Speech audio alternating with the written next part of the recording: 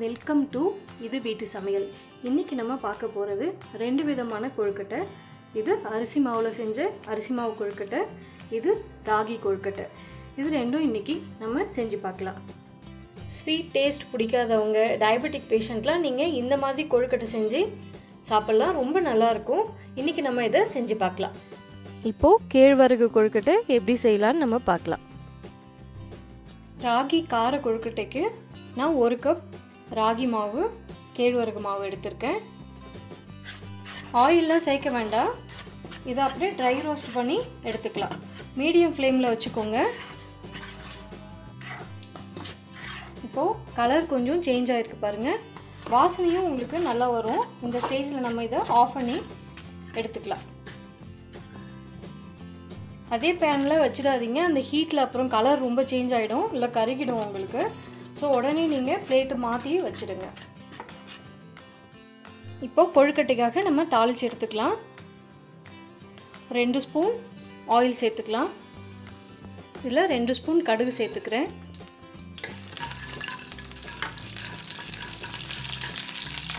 ரெண்டு ஸ்பூன் உளுத்தம்பருப்பு. இப்போது கடுகு நல்லா வெடிச்சிருச்சு. பச்சை மிளகா மூணு கட் பண்ணி சின்ன சின்னதாக கட் பண்ணி வச்சுருக்கேன். இதையும் சேர்த்துடலாம். பெருங்காயத்தூள் சேர்த்து நல்லா வதக்கிக்கோங்க. நல்லா சின்ன சின்னதாக கட் பண்ணி வச்சுருக்க கருவேப்பிலை கொத்தமல்லி கொஞ்சம் போட்டுக்கலாம்.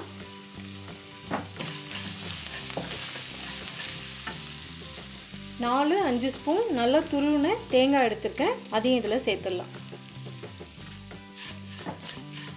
இப்போது ஒரு கப் ராகி மாவுக்கு ஒன்றரை கப் தண்ணி சேர்த்துக்கோங்க. கரெக்டாக இருக்கும்.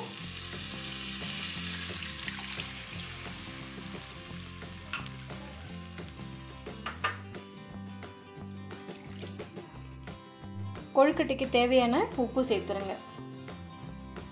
இப்போ தண்ணி நல்லா கொதிச்சிருச்சு பாருங்கள் இப்போது நம்ம வறுத்து எடுத்து வச்சுருக்க ராகி மாவு இதில் சேர்த்துடலாம். சேர்த்துட்டு நல்லா கலக்கிக்கோங்க.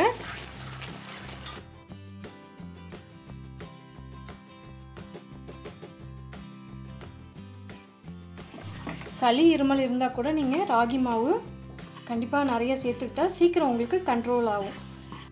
முக்கியமாக இது டயபெட்டிக் பேஷண்ட்க்கு ரொம்ப நல்லது. இப்போது மாவு ரெடி ஆயிடுச்சு. நம்ம இதை எடுத்து ஆற வச்சிடலாம்.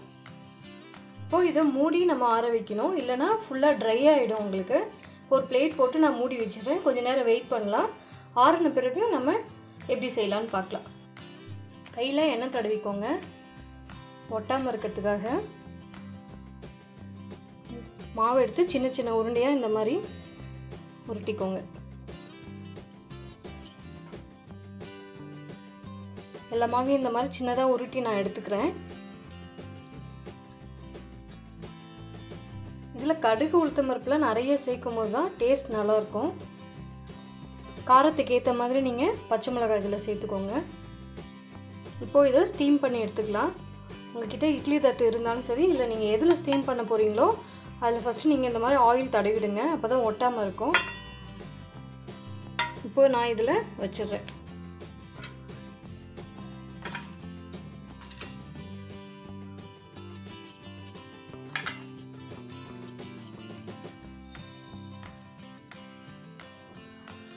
நம்ம இதில் வச்சு ஸ்டீம் பண்ணி எடுத்துக்கலாம்.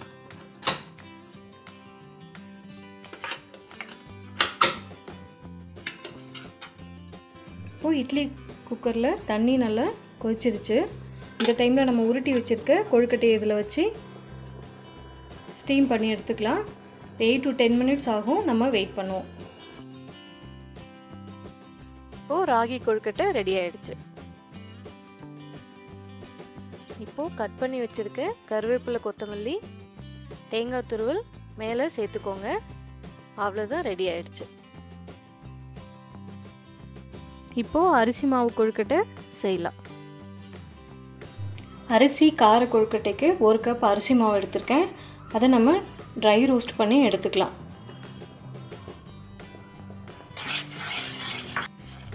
ஃபோர் டு ஃபைவ் மினிட்ஸ் ஆயிடுச்சு. லைட்டாக கலர் சேஞ்ச் ஆகிருக்கு பாருங்கள் இந்த டைமில் நம்ம ஆஃப் பண்ணிடலாம். இப்போது கடாயில் ரெண்டு ஸ்பூன் ஆயில் போட்டுக்கிறேன். கடுகு ஒன்றரை ஸ்பூன் உளுத்தம்பருப்பு ஒன்றரை ஸ்பூன் கடுகு வெடித்ததும் பச்சை மிளகாய் சேர்த்துருக்கேன். ரெண்டு இல்லைன்னா மூணு பச்சை மிளகாய் சின்ன சின்னதாக கட் பண்ணி வச்சுக்கோங்க. அதை இதில் சேர்த்துருங்க. கொஞ்சமாக பெருங்காயத்தூள் இப்போது ஒரு கப்பு அரிசி மாவுக்கு ஒன்றே கால் கப் நீங்கள் தண்ணி எடுத்துக்கிட்டிங்கன்னா சரியாக இருக்கும்.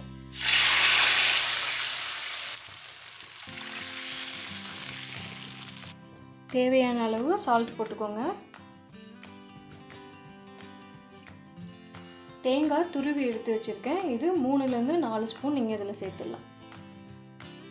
இது இப்போ கொதிக்கட்டும். வெயிட் பண்ணலாம். கருவேப்பிலை கொத்தமல்லி சின்ன சின்னதாக கட் பண்ணி வச்சுருக்கேன். அதை இதில் சேர்த்துடலாம். இப்போ நல்லா கொதிச்சிடுச்சு. நம்ம ஃப்ரை பண்ணி வச்சுருக்க அரிசி மாவு இதில் சேர்த்துடலாம். சேர்த்துட்டு நல்லா மிக்ஸ் பண்ணிக்கோங்க. எல்லாம் கட்டி கட்டியாக ஆகிடும் ரெடி ஆயிடுச்சு. இதை ஆஃப் பண்ணிடுறேன். நல்லா ஆற வைக்கணும். ஆற வச்ச பிறகு நம்ம எப்படி செய்யுதுன்னு பார்க்கலாம். மாவு நீங்கள் ஆற வைக்கும் போது ஏதாவது மாதிரி மூடி ஆற வைங்க. இல்லைன்னா மேலே ஃபுல்லாக ட்ரை ஆகிடும் மாவு ஃபுல்லாக ஆறணும்னு இல்லை. கொஞ்சம் வார்மாக இருக்கும் போதே நீங்கள் கொஞ்சமாக ஆயில் தொட்டு கையில் இப்படி தடவிக்கோங்க. சின்ன சின்ன உருண்டையாக நீங்கள் உருட்டிக்கலாம். நான் இங்கே உருட்டி எடுத்து வச்சுருக்கேன். இந்த சின்ன சின்ன உருண்டையாக நீங்கள் உருட்டிக்கோங்க.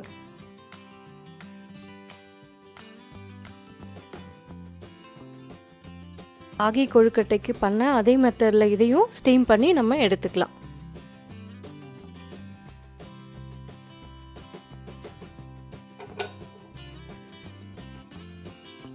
நல்லா குக் ஆயிடுச்சு பாருங்கள் இப்போ நம்ம இதை எடுத்துடலாம். இப்போ கொத்தமல்லி கருவேப்பிலை மேலே போட்டுக்கலாம்.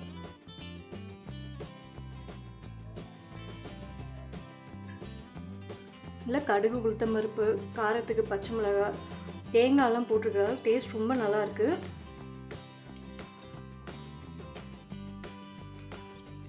இதுவும் டேஸ்ட் ரொம்ப சூப்பராக இருக்குது கண்டிப்பாக வீட்டில் ட்ரை பண்ணி பாருங்கள் இதுக்கு சட்னி எதுவும் தேவையில்லை. நீங்கள் அப்படியே சாப்பிட்லாம். தேங்க்யூ லைக் பண்ணுங்கள் சப்ஸ்கிரைப் பண்ணுங்கள் வீட்டில் கண்டிப்பாக ட்ரை பண்ணி பாருங்கள் எப்படி இருக்குன்னு கமெண்ட்டில் சொல்லுங்கள் தேங்க்யூ